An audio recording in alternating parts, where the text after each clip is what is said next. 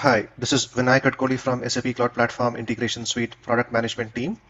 And this is part five of the video series on API Management Security.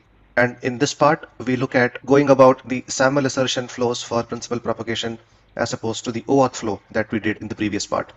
Now let's look at how the single sign-on flow via SAML policies can be modeled in API management. So the construct remains the same as we explained in the previous video, right? So we have a Fiori application which actually connects from a destination and the destination in this case could be set for app to app SSO, which means that any existing assertion will be validated and then sent to API management in the form of a SAML assertion.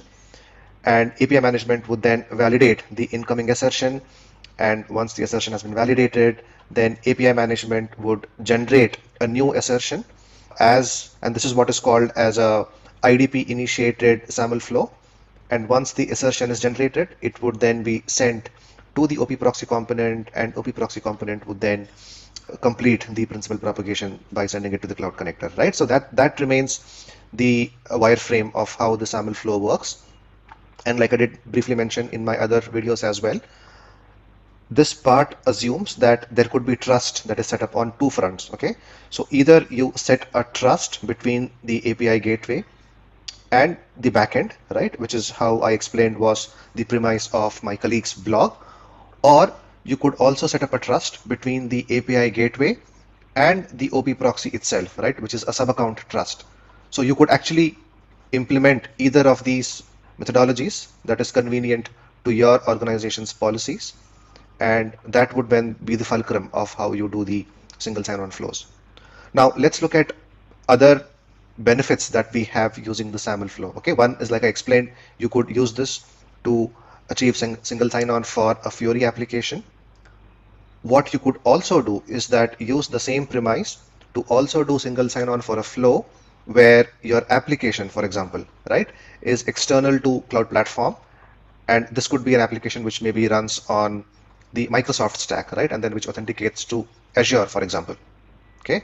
And then you could set up on the API gateway a mechanism where you could establish SSO or validate, for example, tokens that are issued from Azure in this case.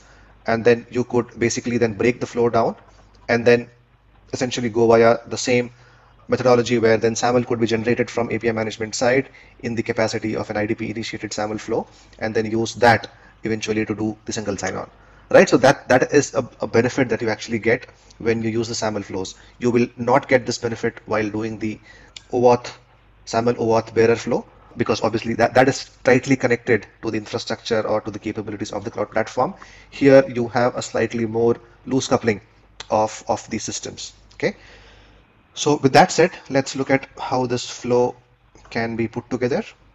So I'm back into my API portal and within my API portal now I'll actually pick up a different API proxy here.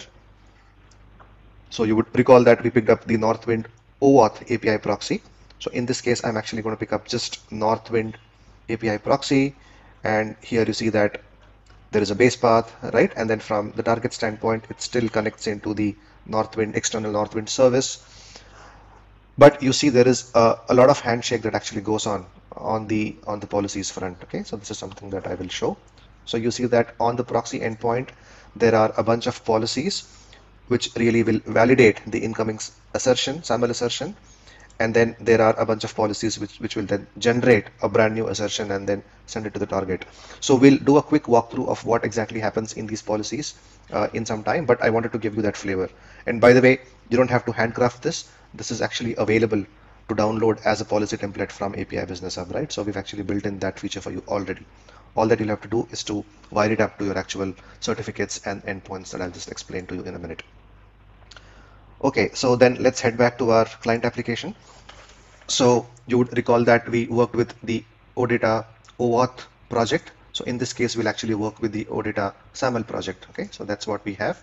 And just to recall, the manifest.json here actually points to a new destination which is called Northwind. Okay, so you would recall that it was actually activity underscore OAuth in the previous video. So now this is a new destination described as Northwind. And then if I go back to the destinations in Cloud Platform, you see that Northwind is a destination which is set for app to app SSO and it just delegates the URL into the one that we described or that uh, is described by the uh, proxy endpoint on, on API management system, which in this case is the base path, right? So we, we inspected this. So that's practically all, all you need. Okay, so now let's run this flow. Let me now run and before I run, maybe it's a good idea to go and introduce the debug mode. So let's debug, start debug, and then let me run this. Let's also inspect what's happening in the developer console.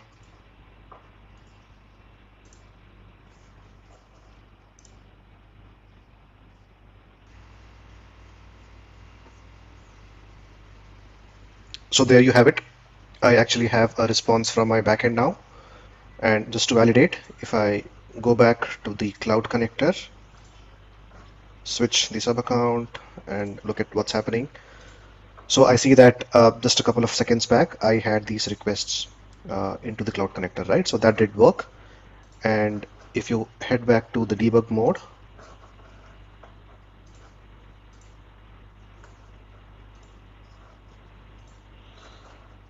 API portal, debug. And in the debug console, I see that indeed um, I see a lot of sequencing here. So I will explain what this means, but essentially it is important to know that the request or the requests were indeed successful and the response actually comes out, right? So you see that there is a response that that, that goes out. And what I also can inspect is that indeed the call was to the authenticated path endpoint of the OP proxies. Right, so now let's really try to understand what really went behind the scenes for this flow to happen. If I go to the policies tab, now within policies that there is a lot of orchestration that's actually happening on the proxy endpoint and on the target endpoint. So let's quickly try to grab this. And by the way, this is the same details that you will also find in my colleague Divya's blog on the exact sequencing. But let's try to keep it very short. Okay. So on the pre-flow, you actually see that the first step is to really read the assertion or the token that actually comes from cloud platform once you initiate the request. And you will remember that we had set the authentication for app to app SSO maybe it's a good idea to do this in parallel. So let me open another session.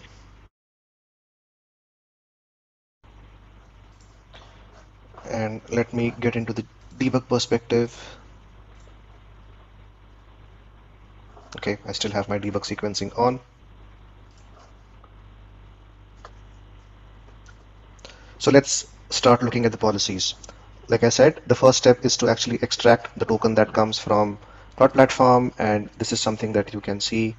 Um, so you actually get the uh, the encoded assertion and we have a little bit of JavaScript to then de-encrypt it. So I read the SAML assertion here and once the SAML assertion is read then there is a Python script and the Python script essentially uh, base64 decodes base64 decodes the encrypted assertion and then you have the entire assertion that you can actually read in clear text. That's something that happens and then you see that you have the entire assertion in clear text. And here is where you can actually note that the request comes prepended for the audience and the assertion actually is for the recipient uh, which is depicted by the endpoint right? So this is the proxy endpoint you will remember. So this is the assertion. Now needs that needs to be validated. So that's exactly what happens next.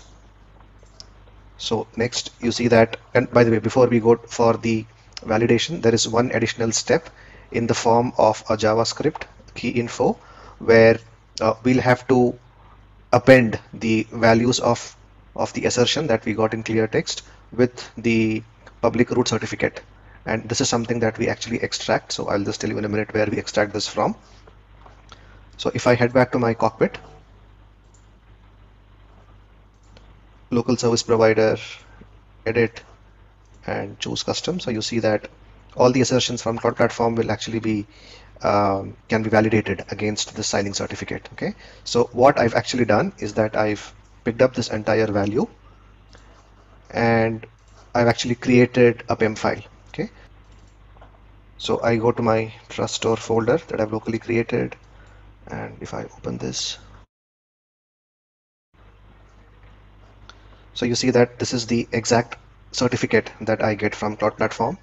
So what I've done is I've actually created uh, a PEM file in my local folder right? This is what you see M-I-D-A-Z which actually matches with with the one that we see here right? So M-I-D-A-Z and it ends with BOC so that's essentially what we have.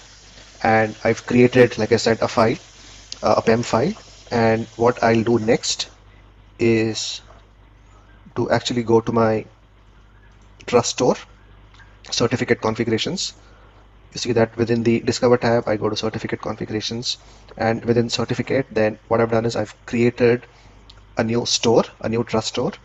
And I've given this a name. And then I give this a SAML let's say a name. So let's just say SAML cert. And I could either create a new store or append this to an existing store. And in my case I just created a new store. And then I browsed. And uploaded the PEM file and then once you hit create it actually should get created right? So I'm not going to do this again because I've already done this once but you follow the exact same steps and then you should be able to nail this down okay? So it's pretty straightforward.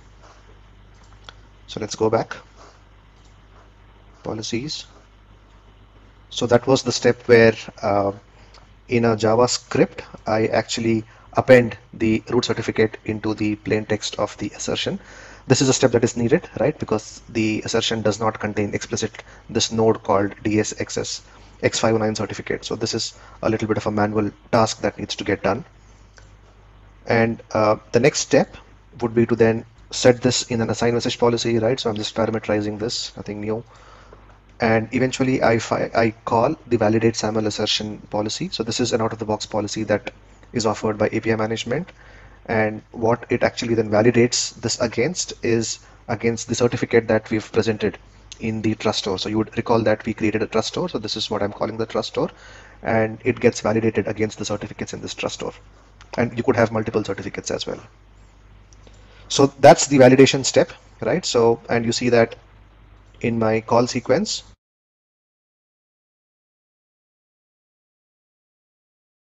so all my validation step actually went through fine and this is the, the validation validation went through. So this is the first sequencing or the first orchestration that that went fine. Now the other part of the sequencing that I need to now uh, now achieve is on the target side okay? And this is when you need to generate a new SAML assertion sign it with a private key and then send it to the recipient okay? And the recipient needs to acknowledge that certificate. So that's the step that we're actually orchestrating here. So in order to do that there is a file called SAML helper. And this file JavaScript essentially then you know, goes about modules where it constructs all the necessary variables that needs to go into the assertion right? So I'm getting the timestamp. So that's essentially what we do. The important thing to note over here is that there is an issuer that has been set okay so this is the issuer of the assertion. And this issuer is something that I have now defined. Uh, so I'll show you where this needs to be created. And like I mentioned before the audience URL is specific to the data center where I'm operating out of. So this is the one. And the other important step is to set the recipient. Okay and here you see that I've actually set the recipient uh, to point to the credentials of the OP proxy application. Where do I get this from? I actually get this from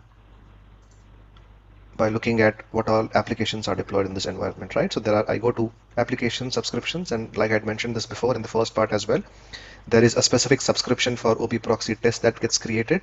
So you would have to grab the subscription URL. So you grab the subscription URL and that's essentially what you've, you've keyed in here and then there is the other part as well so you would recall rt slash a is the authenticated endpoint and the other part of the prefix that you see are nothing but the credentials that point to the destination that is actually created which I will I will show you in a bit. So this is the tricky part. You need to be a little careful in creating all these manual parameters. And then you set the subject and the subject can actually be set from the username attribute. And the username attribute is something that I would have grabbed in my first step. Okay, so you would recall that when the first step when the sequencing happens and then I get the assertion from cloud platform and here is where I can actually grab the the username and then actually set this as a variable right? This is something that I'm actually doing in one of these policies. So that is really the fulcrum of of single sign-on or principal propagation right? Because what you're doing is you are extracting the username and then you're setting the username back as the subject property in the newly formed assertion right? So that's the the important step here. The last two steps is to set the uh, key store name and the key name that will be used to sign the certificate. So this is something that I've created APIM SAML store and SAML cert. And this is something that you need to create now manually. So to show this, I've created a folder called APIM key store and what I've done is I've actually created a self-signed certificate. So for just for demonstration purposes, but this could be one of the certificates that you actually get from your certificate authority as well. So I have a self-signed certificate and you need to go about certain procedures, which is described in our documentation. Um, so there is a, a server key and then there is the certificate itself, right? And there is a metadata file with a descriptor, which actually will call out uh, which is the key and which is the, the key file. And once you once you do that, you need to bundle everything into a jar. And this is the jar that needs to be uploaded into the, the key store. Okay, so that's the step which we, we've done here. So if I get back to configurations, certificates, so you see that there is a trust store called SAML Trust and within that the certificate name is SAML Cert. Okay, so that's what we've done over here. So the store name is SAML Store and SAML SAML Cert. So how do you do that? You click on create and point to a new store, pick up key store and give the name, the name of the store, the name of the certificate, upload and then point it to the jar file that we had constructed. Uh, give a password if, if your key file has a password and then actually create. Okay, so this, this actually works. So I'm not going to create this. I just did this a few minutes back. So that's another important step that needs to be factored in while generating the assertion. Go to policies. So, so that's the last step where you set the variables that will have the the pointers to the uh, to the key store and to the key certificate. Then what what happens next is to invoke the the policy to really generate the assertion, right? So this is the policy and then you actually point this policy to like I said to the key store and to the other parts of the attribute uh, that are important in the assertion. And then you can actually set up some additional C data as well.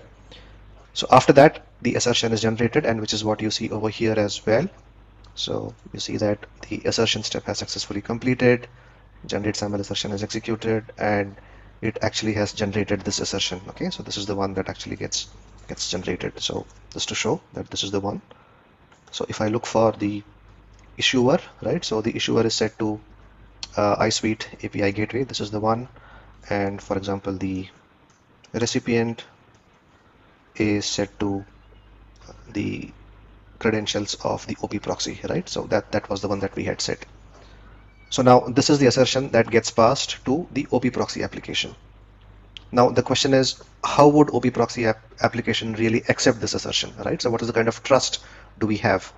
And like I had mentioned before that's another important step where we need to create that trust as well. How do we do that? So in order to do that I go back to trust configurations. And within this cockpit where OP proxy is running I go to application identity provider.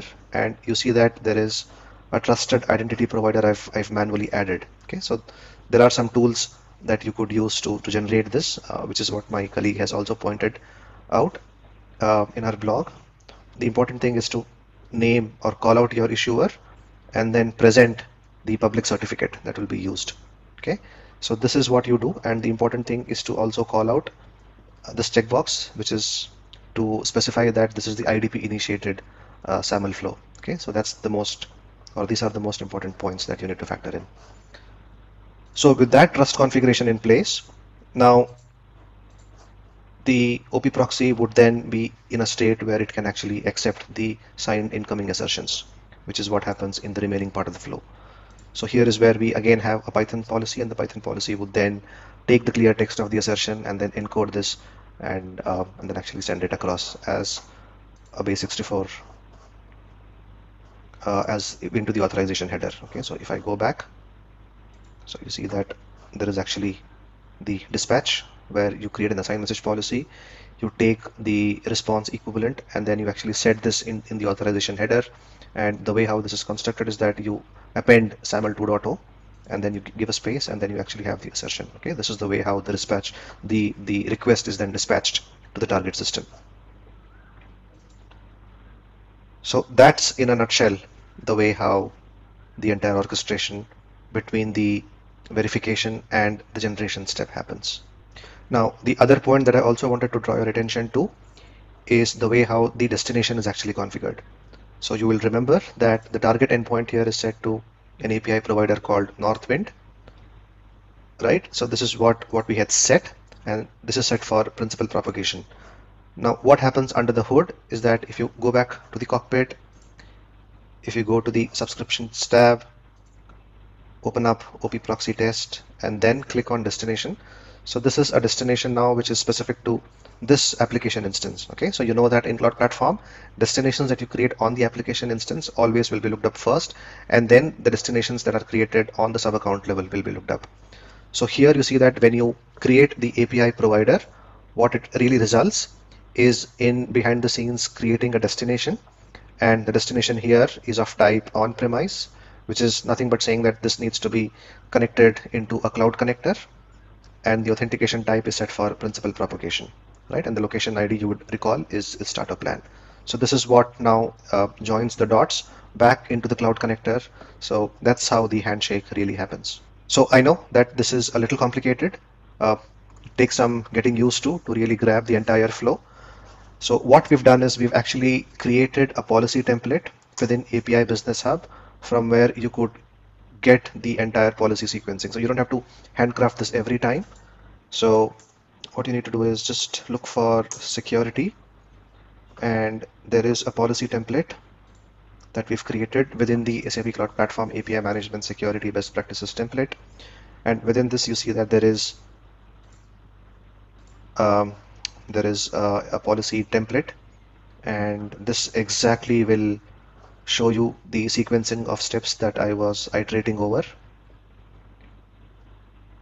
so this is principal propagation via SAML and here actually you, you get the entire sequencing. So there are two ways you could actually apply this. One is that you just do a download okay and then you can actually head back into your API portal and import this. So the way to really apply this policy template would be to download and you essentially then go back to your API portal and within API portal you go to policy templates and then you import right? So you import this. Import. You see that it's imported. So now I click on this and essentially I get all the policies again right? So this is the policy that you could apply uh, onto any API proxy that you intend to build. So for example let me just show this to you real quick click on create. Um, let's just keep this very simple. To be dummy. An easy name. And you deploy this. And once it's deployed go to policies. Go to policy template. Click on edit policy template apply. And look for principal propagation via SAML apply and there you are right? So you actually get all of the policies that I was iterating over. And the important ones for example uh, the the JavaScript file. And here is where we've actually created uh, comments and you would have to uh, you know bring or onboard your actual values. So that's something that you'll have to factor in. Okay so thank you very much. See you in the next video